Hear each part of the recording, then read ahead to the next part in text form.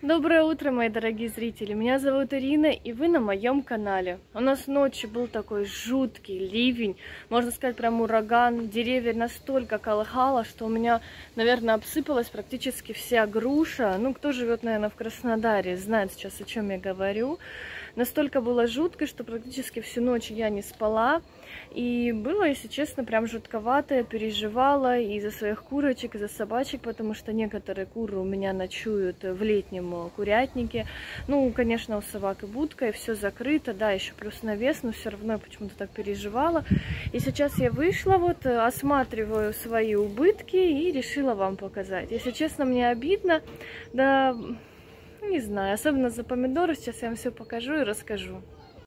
Вот осыпалась груша, это и то я вышла сначала без телефона, немножечко стала ее, ну, собирать, потом думаю, возьму сейчас телефон, покажу эти все убытки, вон везде теперь валяется у меня груша, вон вся клубника в, в грушах, вот, хотя в этом году должен был быть хороший урожай груши. Ну, конечно, на ветках осталось еще, но э, жалко вообще, конечно, ну, это природное явление, э, здесь ничего не поделаешь, и если ну, груша, груша, ничего страшного.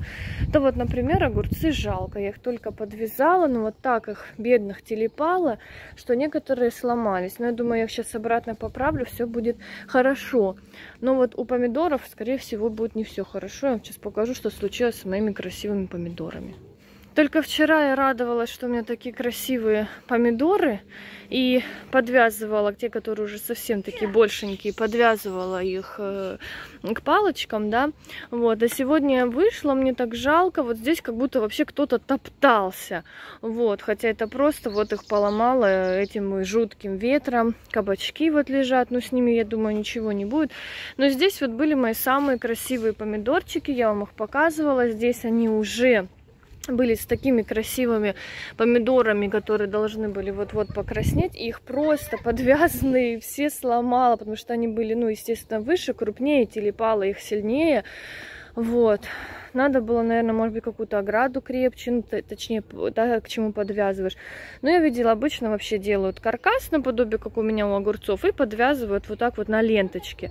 Здесь я на палочке подвязала, и вот так вот получилось. Ну, наверное, это судьба такая, потому что в прошлом году у меня от болезни были они какие-то такие все не очень. В этом году, вот, в прошлом году мы ели, конечно, помидоры, но это было совсем чуть-чуть, потому что они болели. В этом году я нашла хорошее лекарство что они у меня такие красивые, что помидорчики без всяких черных пятен, да, э, вот, все отлично. Ну, теперь вот ураган мне все помидоры поломал. Сейчас я буду пытаться с сестрой их реанимировать, и где вот сильные прям поломы, мы попытаемся их как-то перемотать, да, подвязать, может быть, на какие-то более длинные э, палочки, вот, собственно, ну что-то нужно делать, ну что очень жалко. И вот честно, вчера я только подумала насчет того, что ой, какие они у меня красивые. А сегодня вот такая вот ерунда. Я не знаю. То, что там кто-то сглазил, или я сама себя сглазила, я в это не верю, вот, потому что, ну, значит, судьба такая, значит, вот, ну, не судьба мне иметь хорошие помидоры, или чему-то меня пытался боженька научить, чему не знаю, но вот э, это испытание я тоже, скрипя сердцем, пройду.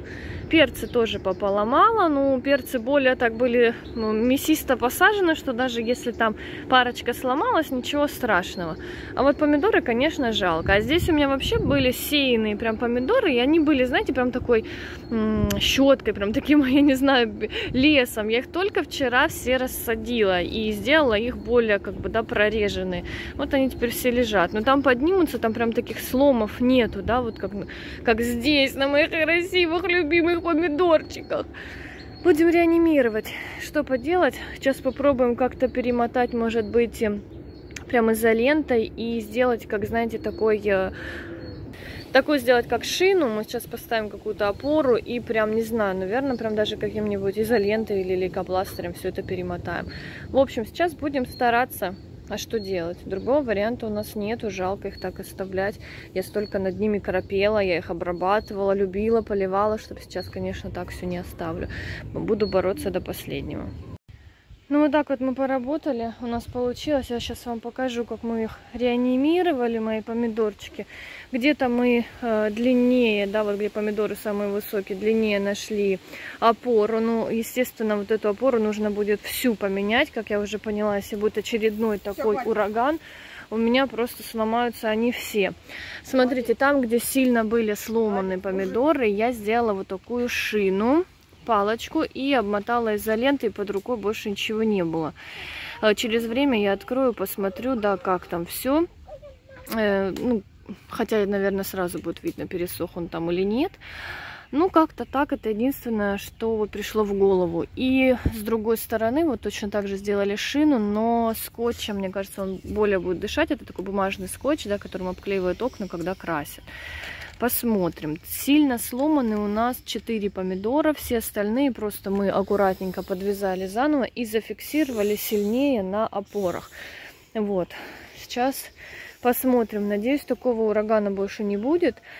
Честно, я ждала дождя, мне хотелось, чтобы пошел дождь, потому что я постоянно поливаю, да, с этим шлангом, хожу туда-сюда. Это, конечно же, занимает много времени.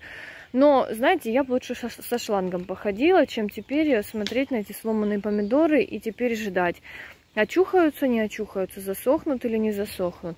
В общем, перцы тоже сильно поломала, сейчас присмотрелась. Вот, видите, все.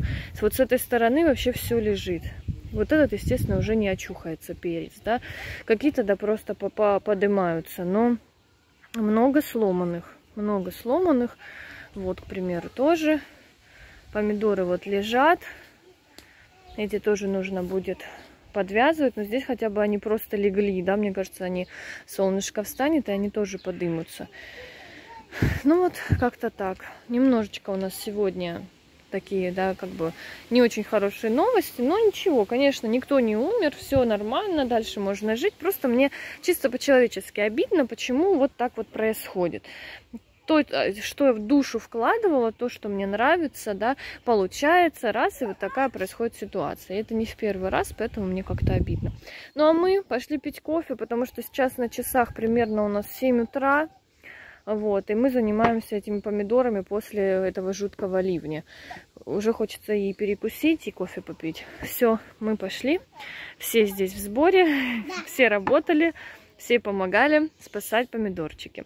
У нас очень много яблок осыпалось. Сейчас даже они уже такие крупненькие, наверное, я их курам покидаю. Возможно, даже они немножечко полакомятся, поклюют. Покормила курочек, как раз покидала им яблоки. Насыпала и в курятники, и здесь корма. На, на землю не стала сыпать, потому что сегодня сыро. Но им почему-то больше нравится здесь на улице кушать. Они вот столпились все, хотя в курятнике тоже есть. Ну, ничего, всем хватит. Вот, шелковые курочки они больше любят. Яблочки, конечно, вон она как раз стоит, пушистопопая, яблочко грызет. Вот, ну, кстати, вот тоже белые такие, получается, они у меня беспородные, тоже им яблоки понравились, клюют. Ну, в общем, вот так. Одна выскочила вместе со мной, ликбарочка молодая. Это ликбарочка другой линии. Вот, ходят теперь здесь с улицы, собирает зернышки. Да? Что ты там собираешь? Вот так вот, мои дорогие. Когда я выводила первых ликбаров, тоже произошла у меня такая, можно сказать, такой трагичный случай. Вот. И, и при, перелезла собака, да, чужая, и полностью всех 15 курочек моих э, загрызли. Вот. Тоже я отдала им, наверное, всю, всю душу, всю свою любовь. Но я имею в виду, как к животным, конечно, это не касается моей семьи. Мне они очень нравились, я их вывела сама в инкубаторе, и для меня они были очень дороги, и так получилось. Сейчас, конечно, уже к этим курам я отношусь не так, только, может быть, за исключением эта маленькая курочка, которая вылупилась, да, из последнего вывода легбаров. Вот. Ну, не знаю, как-то вот. А теперь вот с помидорами такая ситуация. Ну ладно, ничего страшного.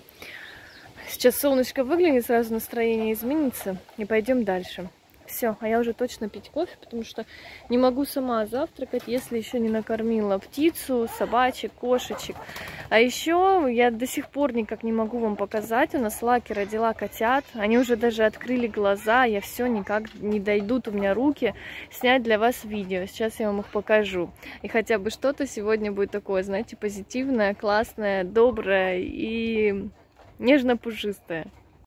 И вот они, эти прелестные, пушистые, маленькие комочки.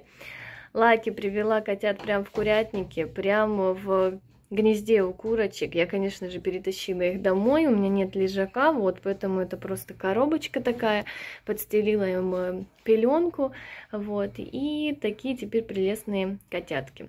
И, если честно, да, уже им нашли новых хозяев, одного котенка я решила оставить себе, точнее, даже мы с мужем решили оставить себе, потому что Лаки, кошка, безумно классная, она так хорошо ловит и крыс, и мышей, Поэтому мы решили оставить от нее котенка, мальчика черного, а ее мы стерилизуем. Да, мы чуть-чуть не успели, но зато появились теперь на свет такие классные моськи, которые теперь будут радовать своих новых хозяев. Сейчас они кушают, поэтому я, наверное, сниму я для вас сниму отдельное видео про котяточек, э, расскажу, покажу их красивые мордочки, вот, но это, наверное, уже будет в следующем видео, и оно будет, мне кажется, тогда уже более такое позитивное, более такое, знаете, довольное, хотя я сейчас к ним пришла, у меня сразу настроение улучшилось. Вот, я попозже сниму про, про этих котяточек для вас э, интересный ролик. Такие пуськи. Кошка очень хорошая, моя лайкушечка.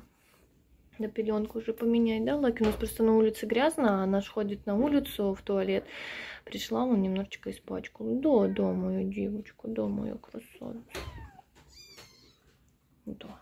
Кстати, перепелки мои такие уже большие, они уже на опилках. На опилках э, намного проще за ними ухаживать. Я уже не включаю им обогрев, они уже закапываются в эти опилочки. И у них там они сами себя так нагревают, что там у них, когда открываешь, прям тепло чувствуется. Вот, сейчас баграшка будет кормить. С утра у нас как раз вот эти все процедуры. Чистим, кормим, поем. Не, не надо включать им лампочку, сынок, а то они там зажарятся. Вот, сейчас, конечно, этим как раз и занимаемся. Вот такие крошечки у нас еще есть. Ну все, теперь точно я пошла пить кофе. А то я, когда начинаю со всеми сюсюкаться, знаете, просыпаюсь в 6 утра, а дохожу до кофе и до завтрака, наверное, только часов в 10. Поэтому все, пошла. В холодильнике, где Тигран? Все, мы точно завтракать, дети уже сами полезли в холодильник. Все, всем пока-пока.